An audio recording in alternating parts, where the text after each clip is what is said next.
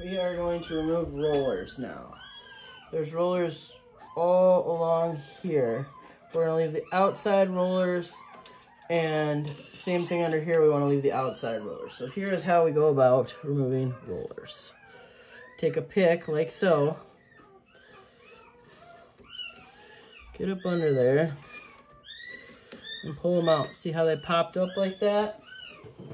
I'm going to grab pair of these and pull the rollers out like so. You want to bring everything out. So we're talking spring and rollers. And we're going to do that to all of them.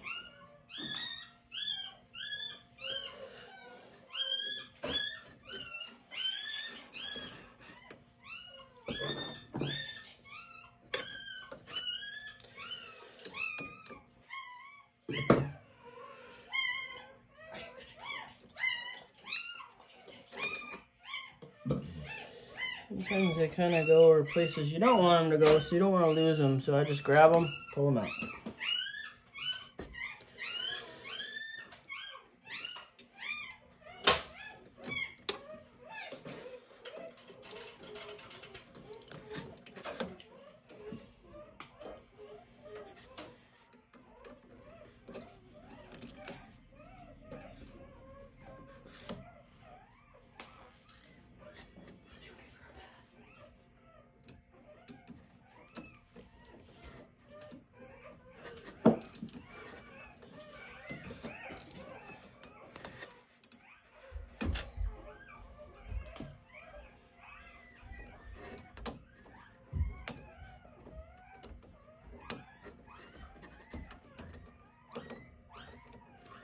Sometimes you gotta get in there a little bit. Once it's up, you can usually grab it with your fingers,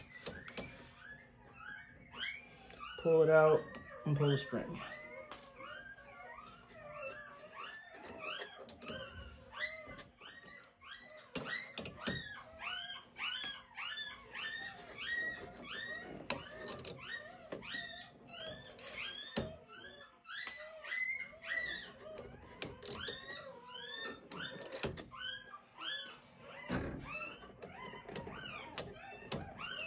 Need to remove these rollers so they don't put tracks on your printouts. I like to leave the outside rollers because, oops, lost one there.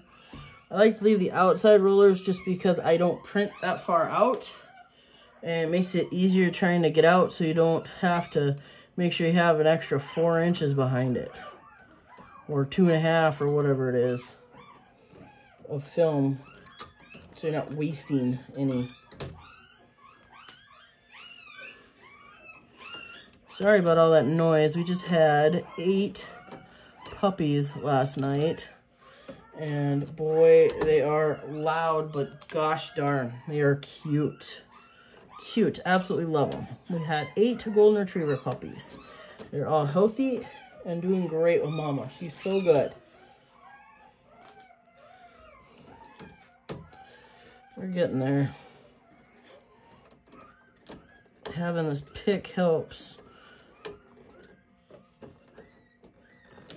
And then, like I said, you pull them up and just pull it out. Whole thing comes out.